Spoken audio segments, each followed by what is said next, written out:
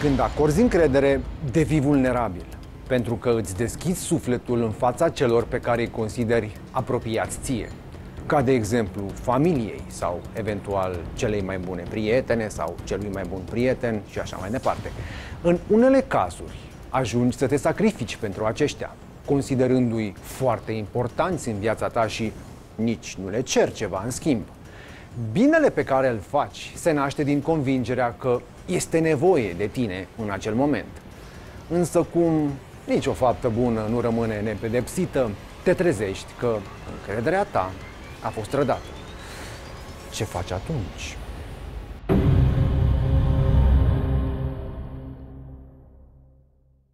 Mihai și Mihaela sunt căsătoriți de 12 ani, sunt încă tineri și au un trai îmbelșugat. Dar cu toate acestea nu sunt încă părinți. Dacă Mihai ca antreprenor încearcă să-și dezvolte afacerile și să fie cât mai profitabil, Mihaela în decursul anilor a devenit o experimentată economistă, iar în timpul liber se relaxează urmându-și o pasiune mai veche, pictatul. Am, uh, am primit o comandă Ia de uite câteva și pe asta. Tricouri. Da, Hai, nu-ți mă, place, nu-ți încetează drăguțe? cu pictatul de tricouri. Ce? Ce ai, mă, uite ce drăguț! Păi și din Mi-a anul cerut să cineva vină o... din pictat de tricouri pe bune acum? Dar tu știi că pe mine chestia asta mă relaxează. Tu Păi crezi și că asta e ne vorba de aduce nouă bogățire? traiul, Sau... ne aduc bani, Păi dar nu chestiile e astea. vorba de asta, dar eu, mintea mea nu trebuie să fie relaxată. Ce să spun, sunt căsătorit cu Mihaela de 12 ani și în cazul ăsta nu mai e vorba de iubire, e vorba de rutină.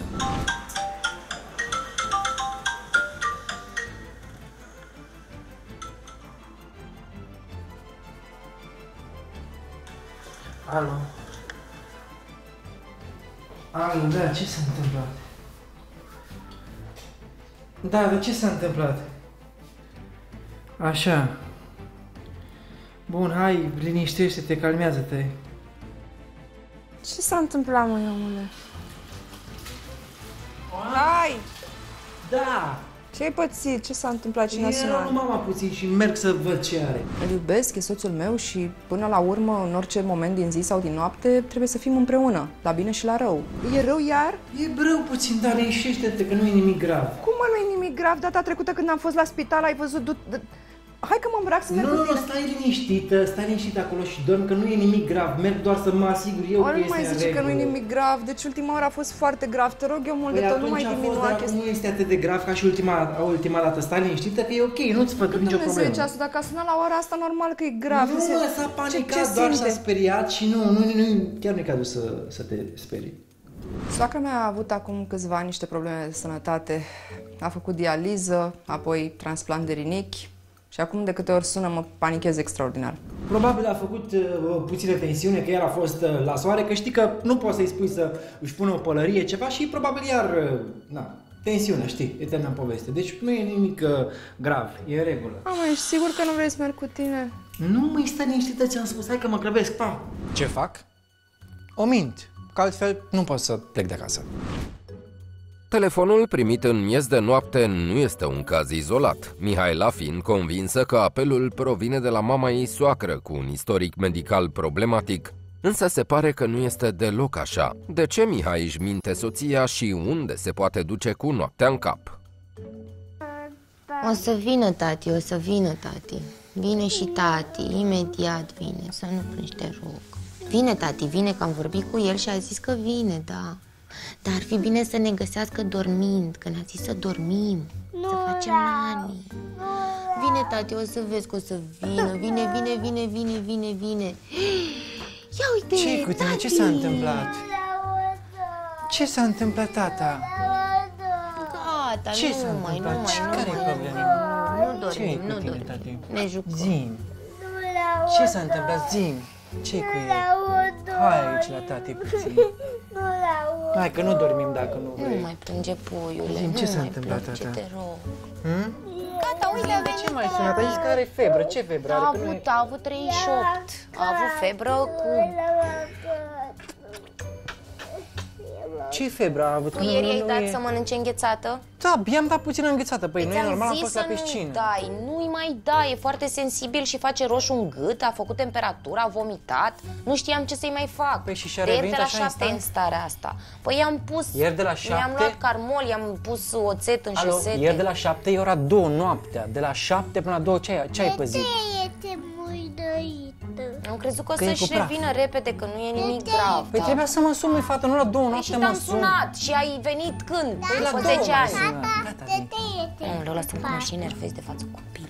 Da, Ioana este amanta mea, iar Dima este băiețelul meu, de 3 ani și 4 luni. Până la urmă sunt bărbat, iar bărbații calcă strâmb.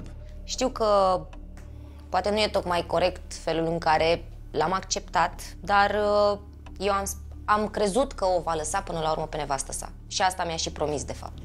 Da, e și de dar ce e? E coleacul de salvare de la vapor. Hai, rămâi puțin aici, că merge tati să-ți aducă ceva, da? Rămâne tati în seara asta aici cu tine și merg să-ți aduc ceva bun, da? Incredibil, dar adevărat. Mihai are o viață dublă. Nu doar că o înșeală pe Mihaela, el are și un băiețel cu amanta lui Ioana. Dacă tot am aflat că Mihai nu mai are sentimente față de Mihaela, de ce nu divorțează ca să-și continue viața alături de Ioana și băiețelul lor? Te întreb, îți bagi joc de mine? Cu ce?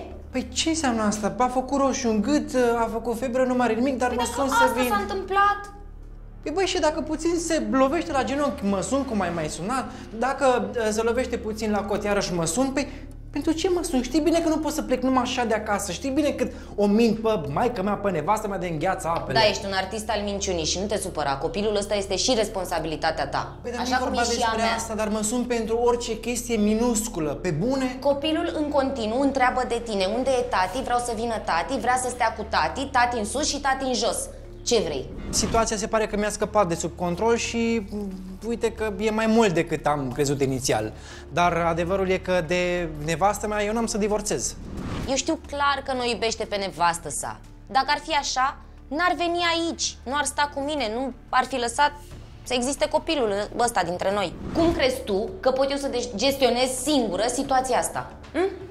Ești mamă și ar trebui să știi cum Și să tu ești gestionezi. tată și ar trebui să fii lângă mine, nu? Doar că tu știi care este situația, tu știi în ce ne-am băgat cu toții și ar trebui să fii mai, uh, un pic mai atentă la micile Situație detalii. pe care ai spus că o să o rezolvi în maxim un an de zile și ce să vezi, au mai trecut încă trei. Și crezi că doar fac așa și se rezolvă?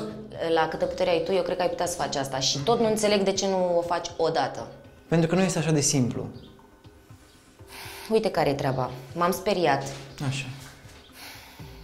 Și chiar copilul plânge după tine. E foarte greu. Nu știu ce minciuni să-i mai spun. Și nu mai vreau să continui așa. Am înțeles asta, dar tu ești conștient de un lucru că nu poți să vin doar așa de acasă la două noaptea, la 5 dimineața și așa mai Hai, departe. lasă, că dacă n-ai mințit până acum, în fel și chip, nu te-a prins niciodată nimeni. A, cu păi și nimic. atunci hai să facem în continuare că mi-a ieșit până acum. Nu, în continuare ar trebui ca tu să vii să stai cu noi permanent. Ioana are de toate, fiul meu are de toate, eu am de toate. Iar toate astea pe cârca nevestemii. Sunt două variante. Ori alege singur și vine aici la noi, ori o să am grijă ca să afle Mihaela tot adevărul. A, păi asta era, măi, deci ai, tu de fapt ai nevoie de atenție. Păi de ce nu spui așa, măi? Am și eu, dar e vorba și despre copil, să știi. Ai, măi, eu cred că e mai mult vor- vorba despre tine. Ha? Hai, nu fi rău, că Ai nu e fi așa. sinceră cu tine. Ia zi. Ha? Îmi pare bine oricum că ai venit. A, băi, asta era, vei, de ce nu spui, măi, măi așa, nu, măi, ei cu... Da, și a fost rău și copilului, ce ai? A, da, că n-aș mai fi ținem un mințit pic cu și... asta. Hai mă, că copilul n-are nimic, am văzut că n-are nimic. Păi n-are nimic. Zic că m-am ți-a fost ocupat. dor de mine și ai zis că copilul așa și așa. fost. Hai, mă. Hai să mergem și noi dincolo să mai profităm un pic de timpul ăsta, ha? Mihai nu vrea să divorțeze de soția lui. De ce? Încă nu știm. Totul este învăluit în mister. Ce știm este că acest adulter trenează deja de patru ani și, după cum se prezintă situația, are toate șansele să continue. Deci Ioana se vede nevoită să-și asume statutul de amantă în continuare, aspect bine cunoscut și de colega ei de serviciu. Ce faci? Uite, Zi nu repede, crezi. zi cum a fost. L-a chemat aseară? A Da, doua normal lună? că a venit. Era prezent în jumătate de oră a ajuns. Când e și vorba de foarte bine, fisul, imediat vine. Tot nu i-a zis lui asta. Nu pot să cred. Nici acum? Uite că nici acum. Și eu nu știu cum să pun problema. Planul meu este să-l țin aproape de mine și de copil. Dar văd că orice variantă aș încerca, el tot cu nevastă să rămâne. Și nici măcar nu-i spune adevărul. Cât o mai ții așa? Ai un copil de crescut? Du-te la el la ușă și spune. Eu? Tu. Eu așa aș face dacă aș fi în locul tău, să știi. Mă duc cioc-cioc la ușă, doamna, sau cum îi zici tu. Știi care e faza? Soțul tău trăiește cu mine de patru ani și avem și un copil împreună. Nu mai pot să rămân așa. Avem un copil de crescut, la revedere și drum bun. Să divorțeze. Ce mă deranjează cel mai tare este că îl mint pe băiatul meu. Până acum a fost mic. A mai mers cum a mai mers. Dar deja începe să conștientizeze cine e tati, să întrebe de el, să vrea să-l vadă. Eu nu pot minți copilul la infinit. Din punctul meu de vedere, cred că i-a făcut un copil ca să-l prindă în plasă, dar iată că și-a furat-o. Păi ce să faci? Vreau N-am să înțeles. fac eu asta. Nu am de ce să fac eu asta. De ce să mă umilesc și să mă înjosesc, să mă duc la ea, să cine știe ce reacție are și fac dita mai scandalul. Până la urmă, el s-a dat la mine, da? Eu Da, da. Bun, am Și acceptat, ție ți-a mi-a plăcut. plăcut și mie de el. Mi-am dorit copilul ăsta pentru că îl iubesc, dar gata. Bun, ești cu mine, facem o familie împreună, spune-i. Am înțeles, primul an avea problemele alea medicale, ok, să treacă timpul, dar deja timpul trece și nu, nu, mai, nu mai suport situația Nu asta. ai nevoie de așa ceva, draga mea, până la urmă. Nu ai nevoie de așa ceva, tu ai nevoie de... Asta e o jumătate de bărbat, adică nici nu e cu tine, nici fără tine, nici nu știu ce, da? Poți să-ți găsești un alt uh, soț. Nu vreau altul, eu pe el îl iubesc, înțelegi? El e tatăl copilului meu și cu el vreau să fac familia asta. Am stat patru ani de nebună să-l aștept, crezi? În ziua de astăzi nu mai poți să ții un bărbat lângă tine, chiar dacă îi faci și trei copii. Dacă nu vrea, nu vrea. Nu știu, fă ceva. Schimbă tactica. Fă Și gelos. ce să fac? fă gelos. Găsește și tu unul tinerel, frumos, nu știu, măcar așa, știi, de impresie să vadă el, înțelegi? Pleacă cu el pe la mare, pe la munte, pune niște poze pe Facebook, acolo să vadă, o să-l apuce crizele, să vezi. Pui copilul, te duci, îl pui în brațe, stai cu copilul, că eu am treabă, seara. Dar unde te duci? Dar nu știu ce, îți dai seama când o să vadă ce se întâmplă, o să-l apuce geloziile. Dacă nici așa nu merge, trebuie să-și caute un bărbat responsabil, că Dima are nevoie de un tată. Nu, nu mai pot trăi așa. O să încerc varianta ta. Exact, fă gelos. Și dacă nici așa nu reacționează, nu știu, cred că o sun eu pe nevastă sa.